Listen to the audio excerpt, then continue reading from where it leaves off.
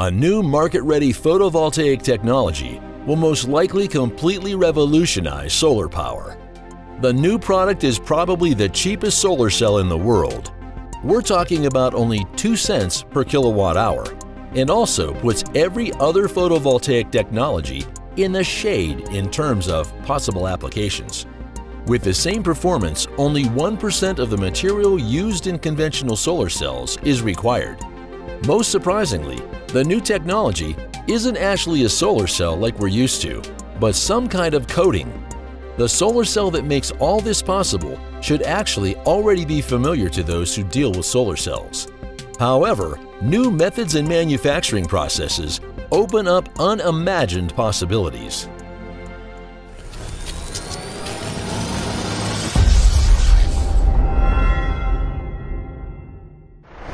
The core idea of photovoltaics is to use sun-faced unused areas to passively generate electricity. The most widespread solar technology is silicon-based photovoltaics. Almost 90% of all solar cells worldwide are made of silicon, and there's a crucial reason. Silicon convinces with a very high efficiency of about 20 to 25% at extremely low production price. The usual solar cells are produced of wafers. These are large crystals that are cut into shape, wired and covered with a protective layer, usually made of glass. Silicon cells are literally the standard solar cell that you typically see on rooftops or in solar parks. But these solar cells are bulky, space-consuming, not very flexible, and beyond everything, heavy. Covering sun-facing surfaces, such as car roofs and roller shutters with solar cells, is impossible with this technology. It would be extremely complex, impractical, and financially a disaster. But a new technology seems to be a great alternative. Thin film solar cells are required for special surfaces. These are produced by applying a paper-thin photoactive layer to a substrate, which could be metal, glass, or even plastic. 99% less of the photoactive material is used.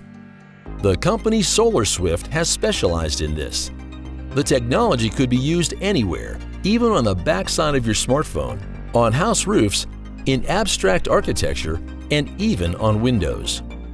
Cities could be supplied completely self-sufficient with their own build-up area only Many compounds can be used as the base material for these solar cells.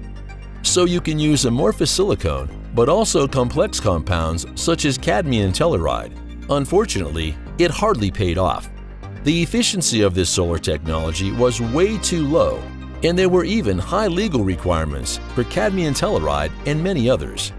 But another already known substance can bring about the breakthrough. Surprisingly, we're talking about perovskite, a crystal which is currently the biggest competitor for wafer-based mono and polycrystalline silicon solar cells. However, perovskite is not a material, but a class of materials. There are different perovskites with different properties. Basically, the efficiency of perovskite is slightly lower than that of silicon, but this is a solvable problem. In the last 15 years, the efficiency has quadrupled from 5% up to 20%. The maximum efficiency of solar cells was still just under 25% and could not be increased during this period.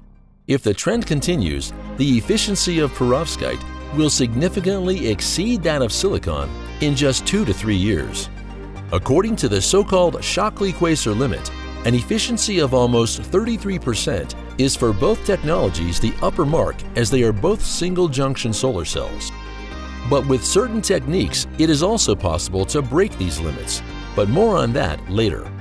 However, perovskite has another gigantic advantage, the way the material can be used. It is literally possible to paint and print with that material. Perovskite can be processed at temperatures of 100 degrees Celsius. This allows it to be applied to almost any surface, even on plastics, which enables flexible solar cells. Depending on the type, plastic or polyethylene only melts at temperatures well above 100 degrees Celsius. And this ingenious process technology is not just theory, it is already market ready. Researchers at Stanford University were able to demonstrate this very impressively. A strip 30 centimeters long can be printed in just a single pass in seconds. Scaled up, it would be easily possible to produce a square meter of solar cell for just 25 cents. So if perovskite technology is so great, why isn't it widely used yet? The biggest problem with perovskite technology is that the durability is currently significantly lower than of conventional wafer-based silicon cells. Lately, perovskite solar cells only survived 1,000 hours in full daylight exposure. In the meantime, we have now reached 4,000 hours, but compared to the 20 to 30 years that conventional solar systems last, this is extremely low. So far, no perovskite compound has been found that has both high efficiency and high durability in lifetime. But perhaps this problem can also be solved by connecting several layers. Different perovskites offer different absorption spectra. In combination, even stable, long-lived perovskites with very low efficiency can break the Shockley-Queisser limit. Together, they could generate electricity more efficiently than those with the highest efficiencies. Yes, even that is already possible. There are already solar cells with an efficiency of 47.1%. The world record holder was developed by the National Renewable Energy Laboratory. In theory, however, efficiencies of up to 86% are even possible. These solar cells could generate more than four times the energy than conventional solar cells that are currently available. If you want to know more about this technology, click on the displayed video. Also, make sure to subscribe to this channel for free so you don't miss out on any new videos.